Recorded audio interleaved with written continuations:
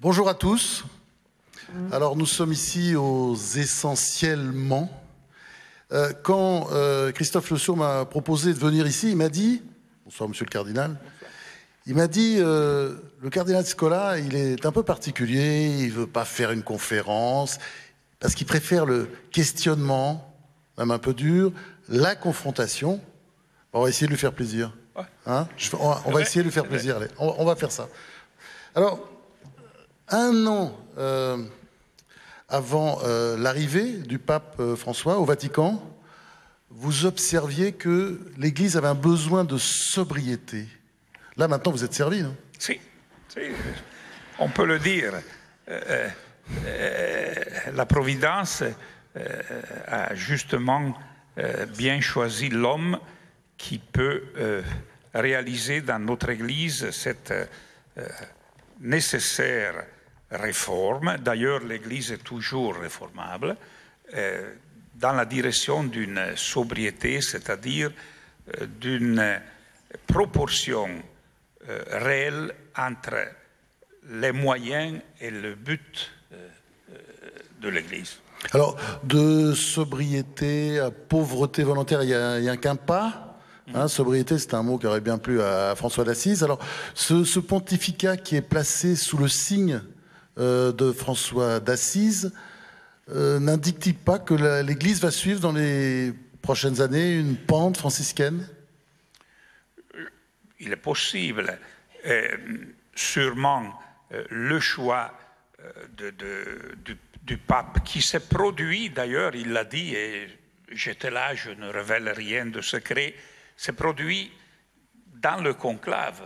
Euh, il ne paraît pas qu'il songeait avant à s'appeler François. Il a même dit publiquement qu'il a été le cardinal Humes à lui suggérer euh, tout ça. Donc c'est quelque chose qui demeure. Hein? Euh, ce n'est pas quelque chose qui est le résultat d'un projet hein, dans sa tête. Mais les actes qu'il accomplit nous indiquent une direction possible et qui interpelle et provoque tous les chrétiens et, tous les gens, parce qu'ils l'admirent beaucoup, et ils sont, dans un certain sens, des actes d'enseignement, de magistère. Il, euh, il, enseigne euh, dans l'action. hein. Alors, je, pense que, euh, le choix de, s'appeler François va signer cette phase de la vie de l'Église. Évidemment, si les chrétiens, euh, si chacun d'entre nous essaye d'y répondre et de se laisser euh, euh, provoquer ju- jusqu'à la racine, tout en étant libre et, non euh, répétant des schémas, donc, en, restant soi-même, mais en s'interrogeant à ce sujet. Alors, euh, je sais que je vais peut-être choquer certains d'entre vous, euh, mais je dis ça très respectueusement, mais c'est vrai que euh, beaucoup disaient que l'Église avait besoin d'être régénérée. Et vous croyez à la régénérescence par le franciscanisme? Euh, Qui était prôné par euh, Si. certains grands intellectuels de l'Église. hein. Si, à condition que le franciscanisme soit Saint François, comme le pape l'a dit à Assisi il y a sept jours. Alors, c'est quoi Saint François alors? Saint François, c'est quelqu'un qui brûlait du désir de suivre Jésus. Tout le reste venait comme conséquence ou comme condition de ce grand désir. Euh, je pense que les meilleures vies euh, de Saint François sont celles qui euh, décrivent le temps de, de- de- où, à la Verne, il demande avec une radicalité totale que euh, le Christ lui donne un signe. Je ne veux pas entrer dans la question des stigmates, etc., euh, sur laquelle on pourrait discuter, Discuter, papa, euh, ouais, pendant, ouais, ouais. pendant des journées Est-ce que les stigmates ont été faits après sa mort ou- euh, voilà, Ça se discute, oui. ça, ça se discute, mais euh, un signe, c'est un signe. Important, mais c'est seulement un signe. Mais ce qui est certain dans sa biographie, il, demandait, il, mendiait auprès du Christ la, la perception d'être véritablement son disciple. Il avait peur de ne pas l'être.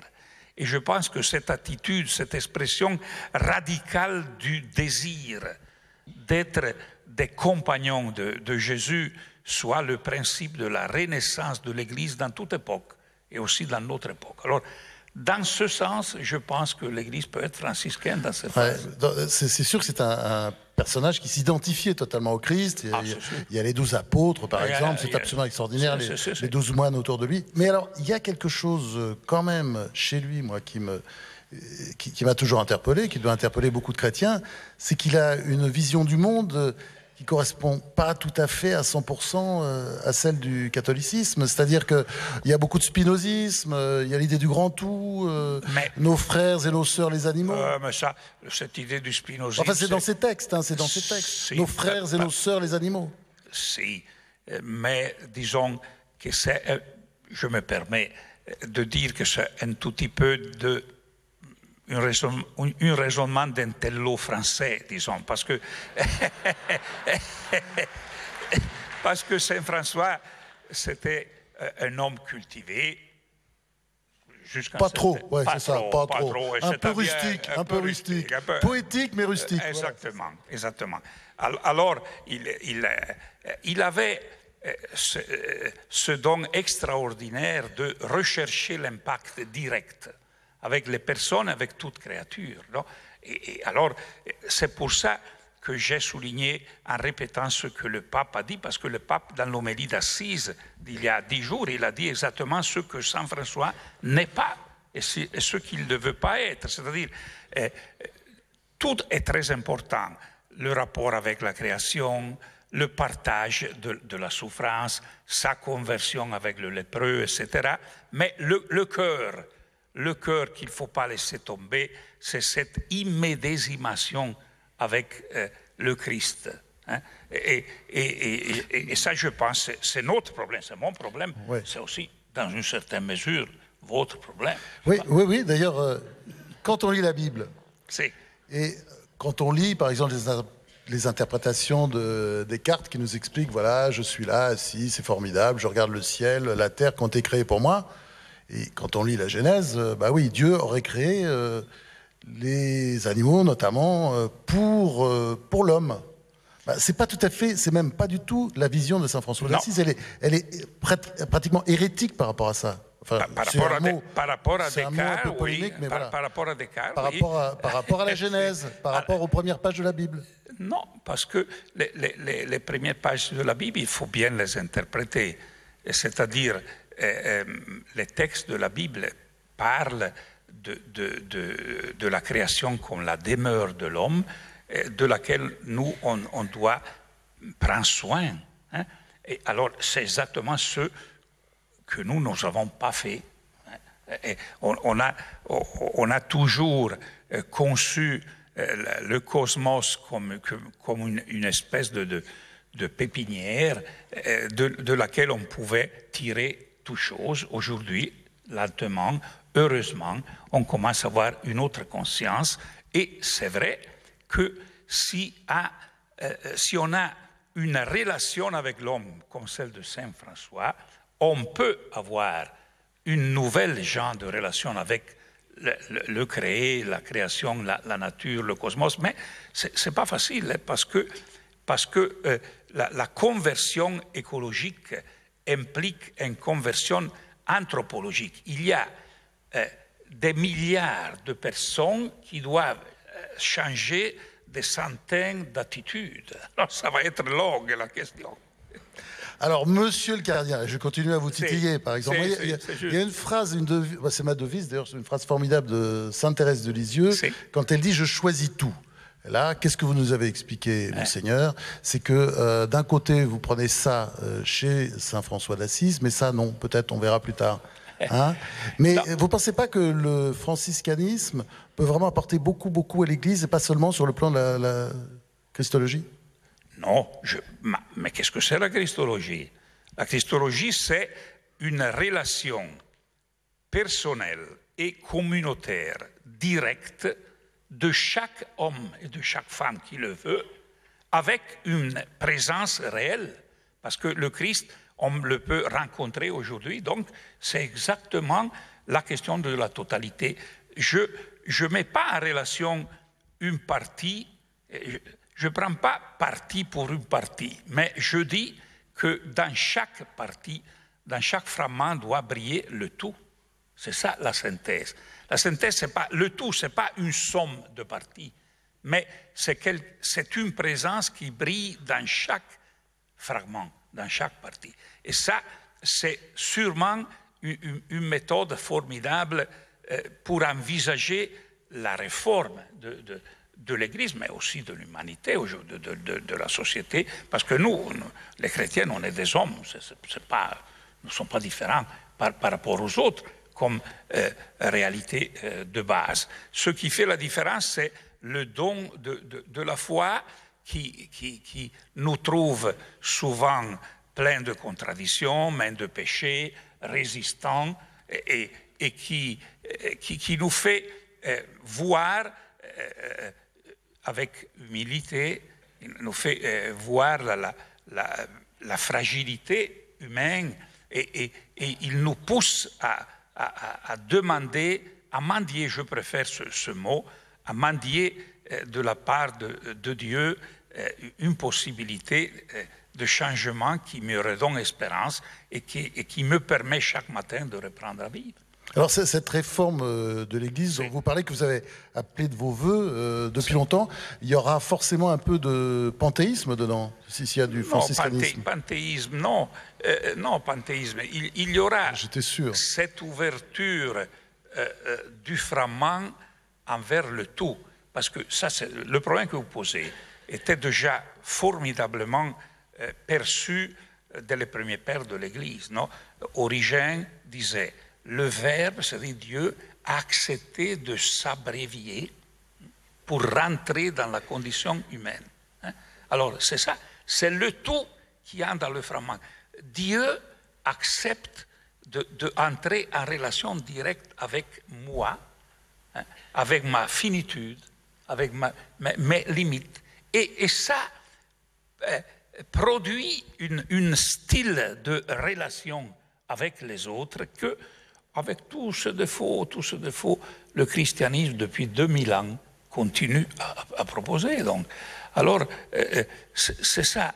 Euh, et ça, ce n'est pas du panthéisme, parce que le, panthéisme, c'est au fond la prétention de nier le devenir, la contingence, le fait que je suis, maintenant je suis ici à parler, il y a 70 ans je n'étais pas, et dans quelques années je n'y serai plus hein, sur cette terre. Alors, euh, euh, le panthéisme, c'est la, ultimement, au point de vue théorétique, est la prétention de fermer chaque petit acte et de le faire durer à l'éternel. Il y a un philosophe italien très fameux en Italie qui est Severino, je ne sais pas si vous le connaissez, qui soutient ça hein, rigoureusement. Euh, c'est environ 25 années qu'il écrit sur le Corriere della Sera tous les mois en répétant. La même chose. la même chose, en disant non, il, a été mon professeur et, je, pense qu'il, certainement, c'est peut-être le plus grand euh, euh, logique, penseur logique de la contemporanéité. Il est au niveau de Heidegger, de Husserl, certainement. Mais euh, il a cette idée que je, je fais ce mouvement, ce mouvement est éternel. Hein, éternel.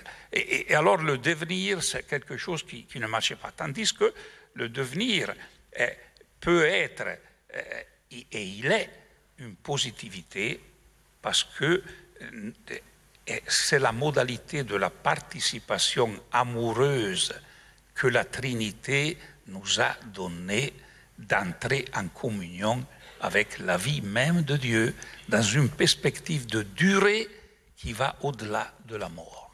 Alors le cardinal Angelo Scola, vous avez compris, c'est une grande figure de l'Église, ça on le sait tous, mais c'est aussi un grand intellectuel italien. Hein. On, ne se moque ici apparemment que des intellectuels français. Euh, grand intellectuel italien, et d'ailleurs en arrivant... Et ça c'est une limite, hein. il faut déclasser les intellectuels. Alors... Enfin, c'est un intellectuel, d'ailleurs, on l'a bien vu, on l'a bien vu. Et alors, en arrivant au diocèse de, de Milan, il y a un an, Hein, le De- plus grand de- diocèse. C'est le troisième année. Oui, vous, étiez, vous avez dit quelque chose de très fort. C'est l'Église blessée du péché de ses membres est-elle encore crédible à nos yeux et à ceux de l'homme postmoderne? Bon, c'est une question euh, générale, C'est- large comme ça. J'ai- J'aimerais avoir votre réponse personnelle à cette question. Oh, c'est- Évidemment, c'est une Parce que question. poser cette question, c'est vraiment se poser des questions. très- très- C'est très grave. Vous quoi, avez hein, ouais, raison, ouais. vous avez raison. C'est pas une question anodine comme non, ça. non, non, non. Non, parce que, euh, disons, le mal est aussi euh, euh, dans les hommes d'église. On, le touche sur soi-même.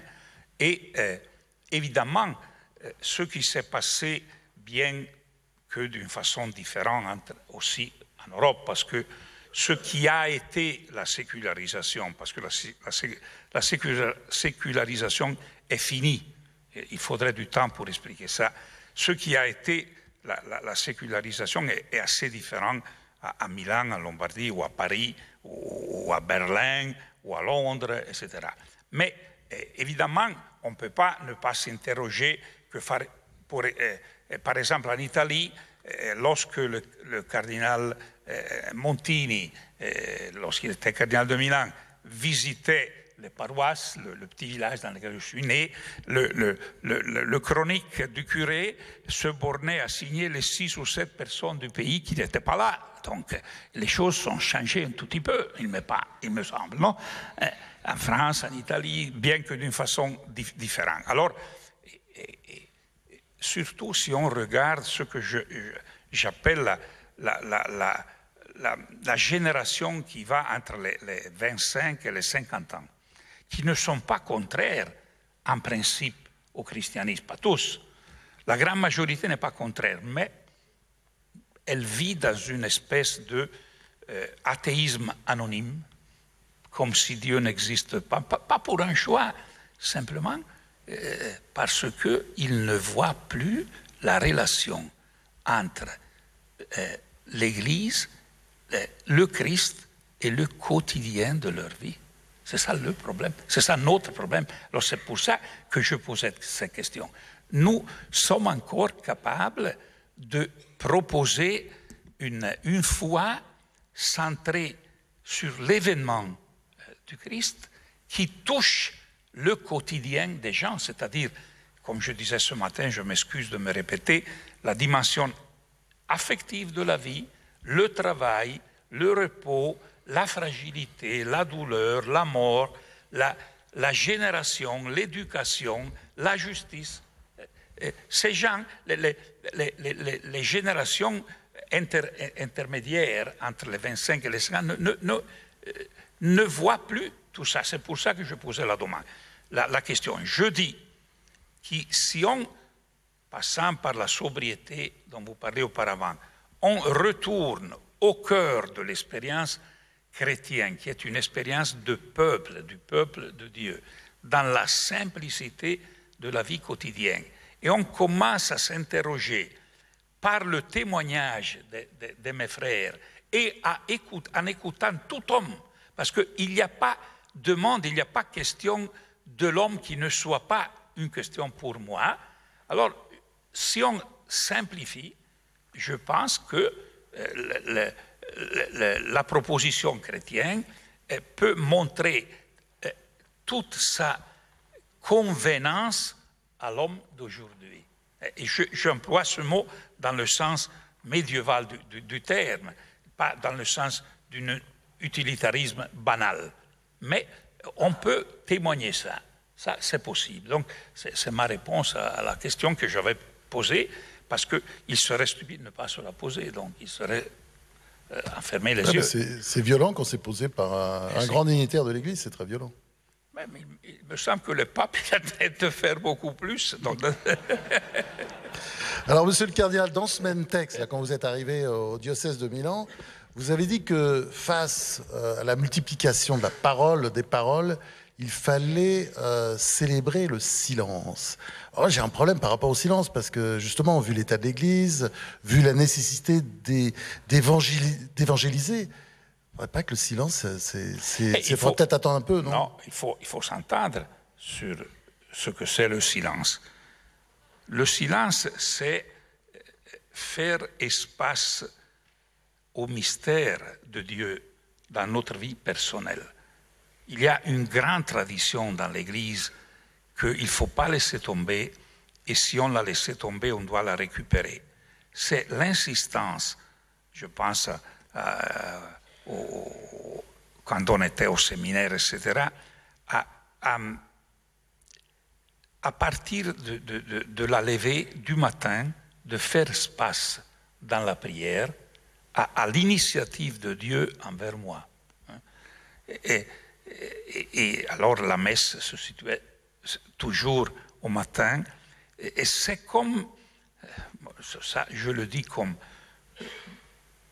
simplement comme l'expérience que quelquefois je fais, quand l'âge passe, quand, on voit le terme de, la parabole euh, de sa vie, euh, à mon âge, disons, euh, on comprend bien que si tu n'es pas arrivé à désirer de voir le visage de Dieu, et tu n'as pas encore touché la mureté. Le silence, c'est ça.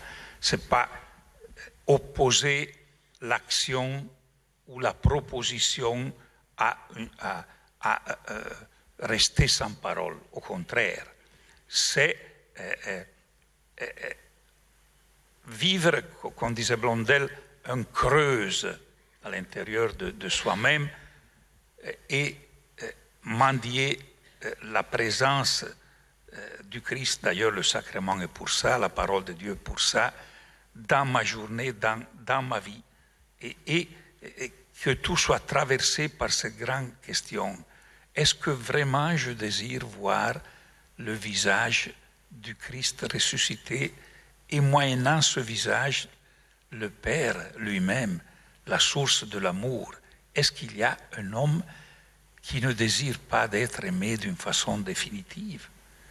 Il n'y aurait pas la possibilité d'aimer. Seulement si je perçois d'être définitivement aimé, je peux aimer.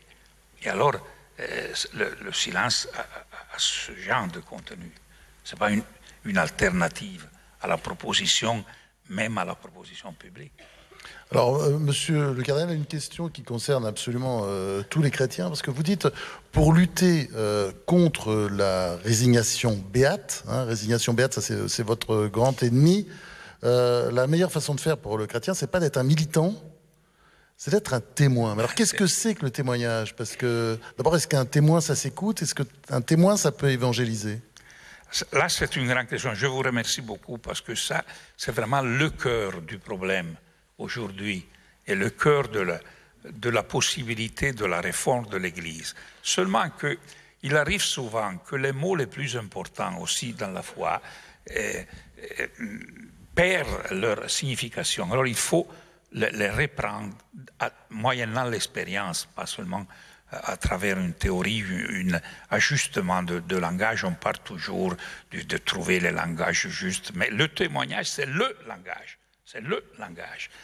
Alors, euh, le témoignage, c'est pas seulement du bon exemple, du bon exemple individuel, du bon exemple communautaire. Le témoignage, je dis toujours, c'est une modalité de connaissance de la réalité une modalité adéquate de connaissance de la réalité, et la connaissance adéquate de la réalité s'appelle vérité. Et donc le témoignage, c'est, bon exemple, connaissance adéquate de la vérité et de, la réalité, et donc communication de la vérité. Je m'explique avec un exemple qui m'est arrivé et qui m'a fait, fait, bien comprendre tout ça. Euh, j'ai fait sept ans de visite pastorale lorsque j'étais patriarche de Venise. Et je demeurais tous les vendredis après-midi visitant des malades avec le curé. Et souvent, il y avait les gens voisins qui, venaient pour prier ensemble avec euh, le malade. J'ai visité une fois euh, tout près de Caorle, une petite belle ville euh, sur la, mer Adriatique du diocèse de Venise, et, un jeune homme de 48 ans qui était en train de mourir pour cela. Il y avait 13 enfants dont, l'aîné avait 13 ans, 14 ans, qui le faisait communiquer à travers un, computer. Il pouvait mouvoir seulement les, sourcils. Et, les paupières, vous avez raison. C'est le Locking syndrome. Et, il a, il, a, composé cette phrase pour moi, Patriarche, je suis très content. Alors déjà à ce moment-là, j'ai commencé à me sentir un peu comme une vermine. On peut être à la fin de la vie, avec une famille, devant euh, une situation euh, tellement dramatique, et dire une phrase de ce genre. Donc là, c'est déjà du vrai témoignage. Mais dans la même occasion, en sortant de la maison, le curé m'a présenté un homme de mon âge. Il m'a dit, euh, voyez, euh, Éminence, cet homme a perdu son, son, fils il y a 15 jours. Il était âgé de 59 ans. Il est né avec un handicap radical. On n'a jamais compris s'il était en mesure de comprendre. Il n'a jamais parlé. Et cet homme, ce père, il a été avec lui pendant 59 ans, tous les jours, tous les jours. Il, avait même construit une espèce de siège spécial parce qu'il ne pouvait pas euh, rester assis. et, et, alors, euh, comme il arrive souvent, euh, moi avec, j'aurais dû rester en silence, mais j'ai fait une grave faute. Et, comme on fait souvent, nous les clercs, on, on, a essayé, de trouver quelques mots pour, dire. Alors j'ai dit une stupidité parce que c'était d'une évidence absolument. Oh, j'ai dit, le, Seigneur vous donnera mérite.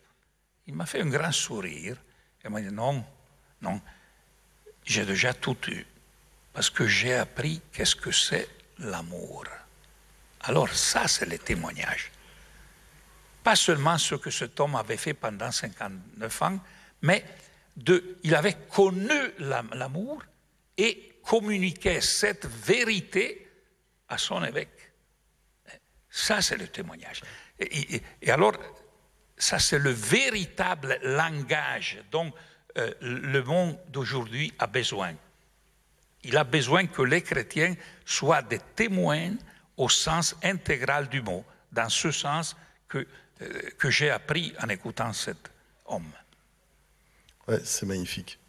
Est-ce que vous avez, euh, euh, vous dites toujours, vous avez le sentiment que l'homme aujourd'hui, l'homme contemporain, s'accommode de la finitude? Enfin, je m'excuse de, poser cette question après ce que vous venez de dire. Non, non, non, vous avez tellement beau.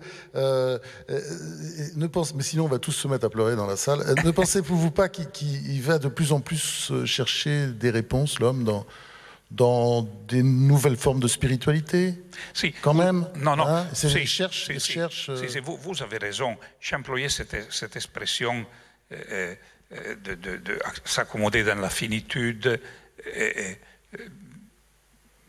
c'est une façon d'exonérer l'Église, voyez, de, du travail peut-être qu'elle n'a pas fait, parce que finalement on voit que bon, la méditation, toutes sortes de religions aujourd'hui sont en train de, se développer. Vous, vous avez raison dans le sens que je ne crois pas que ce soit euh, euh, s'accommoder dans la finitude une tentation qui touche les, gens simples euh, du peuple qui ont tous les jours à lutter pour les blessures de l'amour, pour le travail qui, qui, risque de perdre, qu'on a perdu, les, gens, les jeunes qui n'ont pas tellement de perspectives, qui a quoi faire avec la douleur, etc mon attitude, c'était un tout petit peu de frapper les intellectuels, ceux qui font les théories à propos de ça. Non? Par exemple, en Italie, il y a ce fameux philosophe, je pense qu'il est bien traduit aussi euh, en, France, qui s'appelle Vattimo, hein, qui disait que tout, est terminé. Qu'il, dans son, il a écrit, il a écrit euh, euh, un livre qui a un titre à peu près Plus de vérité. Hein, et il, parlait, il parle d'une sorte de caritas in caritate. Le problème ne serait pas la caritas in veritate, mais la caritas in caritate. Alors, eh, il y a une exaltation de la finitude et de la part de, certains hommes de, pensée et, eh, qui quand même eh, produisent, produisent, une vulgate hein, que les médias se chargent de, communiquer Hein, et, une attitude euh, dans laquelle on dit on retourne tout petit peu al carpe diem, hein, reste comme le désir d'infini se révèle, selon eux, insoutenable, nous pouvons nous contenter de le substituer avec une série indéfinie de petits plaisirs. Hein. On va, on va jouir de ces petites choses sans se poser d'autres questions sur le sens de la vie, sur la direction de la vie. Je je voulais frapper cette attitude, mais vous avez raison de dire que euh, euh, cette attitude euh, montre sa faiblesse dans le fait que le, le, désir de l'homme est structurellement ouvert à l'infini. Le problème c'est, consiste dans ce fait que l'homme désire l'infini, comme, il a bien écrit le grand de Lubac, mais il ne peut pas se le donner de soi-même. Il doit l'attendre de l'autre, l'autre, c'est-à-dire nous tous, on, dialogue, on discute ici, euh, moyennant votre, courtoisie, etc. mais tous, on est concernés. Hein. C'est-à-dire, euh, ou bien euh, je suis dans la disposition d'apprendre quelque chose ce soir. Alors là, c'est le vrai dialogue. Comme Buber disait, le vrai dialogue, c'est un rapport avec, en profondité avec le réel mystérieux. Hein, c'est ça. Alors, euh, euh, le, problème, c'est euh, attendre, il faut structurellement attendre de l'autre l'accomplissement du désir et dernièrement de l'autre avec la grande A. Ça, on, le voit en discutant avec les jeunes, quand ils font leur première expérience de devenir amoureux avec toute l'ambivalence que l'expérience des amoureux a, euh, euh, a, etc., on, voit bien qu'elle euh, s'ouvre à un désir de définitivité. Je dis toujours aux jeunes, quand je parle avec eux, je vous défie, si vous êtes sincèrement tombé à, l'anglaise, en, amour avec votre fiancé, je vous défie à me dire si vous êtes capable de lui dire je t'aime sans ajouter pour toujours. Laisse tomber le fait que depuis deux semaines, tu n'es pas capable de le faire. Ça, c'est une autre question. Mais la structure de l'acte en soi-même implique ce, pour toujours. Donc, alors, euh, euh, c'est bien, euh, c'est évident que les gens cherchent le sens. Le, désir, je me rappelle, lorsque j'ai passé quelques jours à Paris, dans les années 70, je passais, euh, euh, j'habitais en rue Nelaton, je passais toujours sous la tour Eiffel et il y avait un terrain vague. Hein.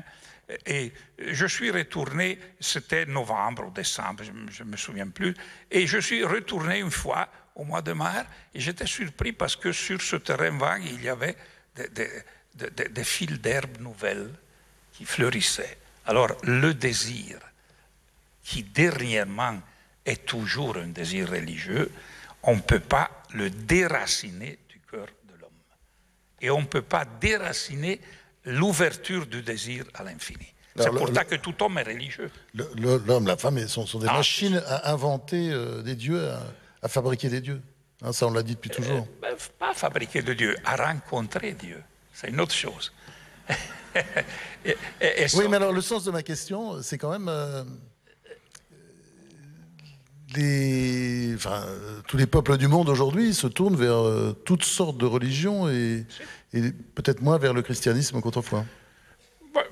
disons, comme, quelqu'un l'a rappelé dans le dialogue euh, euh, d'auparavant, le christianisme, le catholicisme est en croissance, en tout cas dans le monde en ce moment, et surtout l'expérience des évangélicoles sont dans une croissance formidable on peut discuter ce, ce que c'est euh, cette nouvelle réalité, ce mouvement, mais ils sont devenus 800 euh, millions de personnes dans 40 années. Ils sont des chrétiens. Donc, je ne sais pas s'il est, en train de, baisser, mais ce n'est pas, là, pas, pas important tout ça.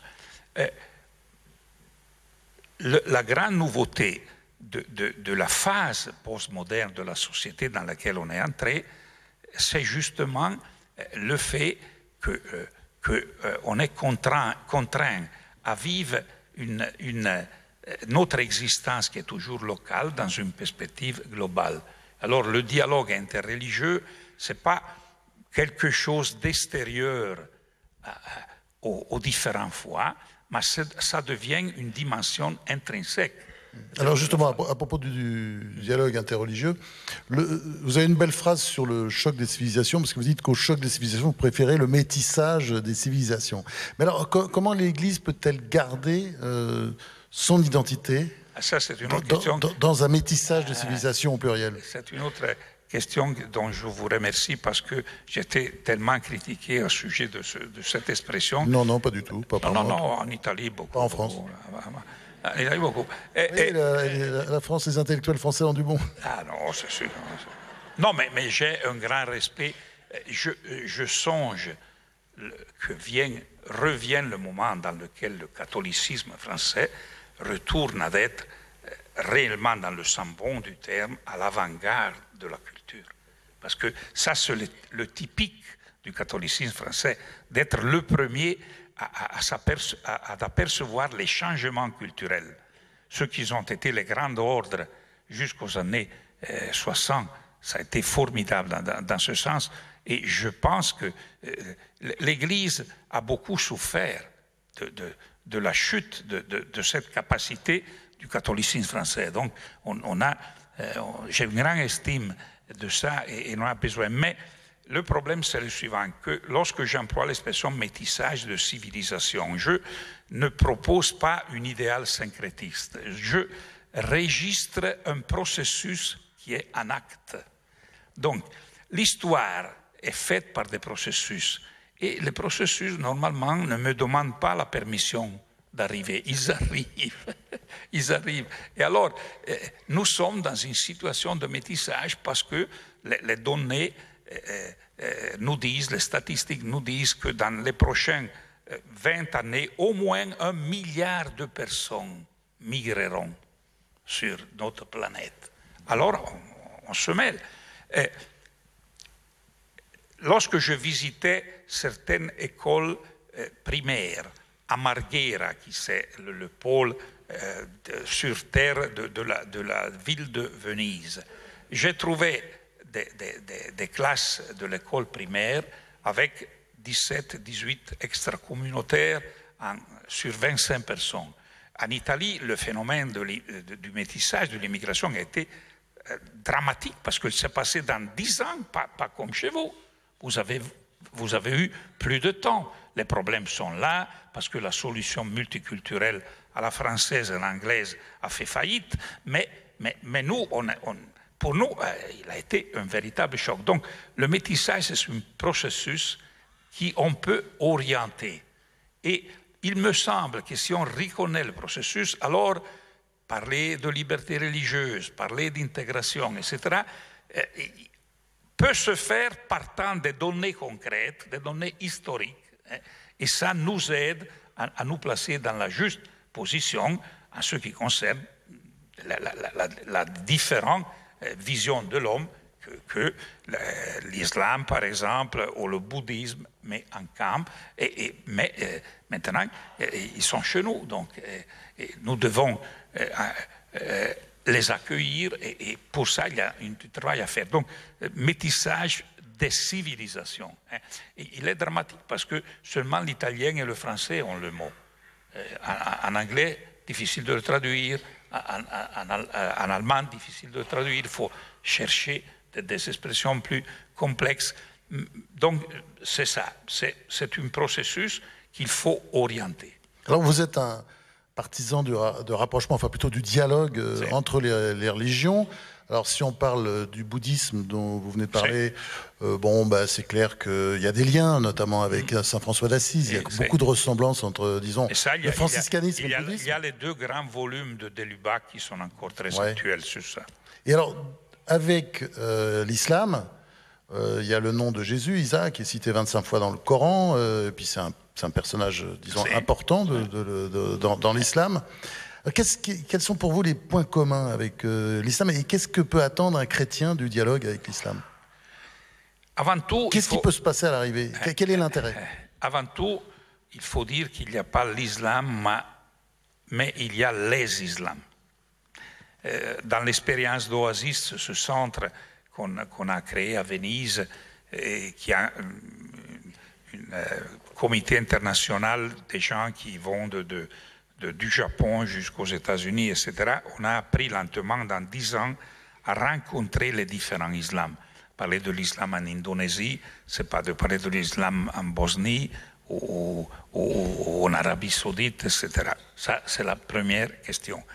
Évidemment, euh, je pense que, et je retourne sur un conseil que j'employais déjà ce matin, je pense que ce qu'on a en commun, on ne doit pas le chercher avant tout dans euh, la structure ni dogmatique ni culturelle au sens euh, libresque du mot, mais à l'intérieur de l'expérience commune. Alors j'insiste toujours sur, cet aspect, et même dans, la lettre pastorale que j'ai écrite pour, euh, pour, mes fidèles, j'insiste sur ça. Euh, qu'est-ce que, ça veut dire de s'ouvrir à tous? Ça veut dire partir de l'expérience quotidienne, commune à chaque homme, de chaque ethnie, de chaque religion, de chaque temps. Nous tous, tous les matins, on redémarre et, euh, on entre dans les circonstances de la vie et dans les relations à travers la dimension des, affections, du travail, du repos. Ça, c'est le terrain commun. Il n'y a pas de religion, il n'y a pas de vision de la vie hein, qui ne, que puisse éviter de passer par là. Alors c'est là qui euh, démarre le dialogue. Si vous allez en Inde, et vous, euh, souvent vous connaissez, les chrétiens sont une minorité moins que le 2%, il y a beaucoup de mariages entre chrétiens et hindous. Là se fait le dialogue interreligieux, parce qu'ils doivent se dire qu'est-ce que c'est de s'aimer, qu'est-ce que c'est d'avoir des enfants, comment on va les, éduquer.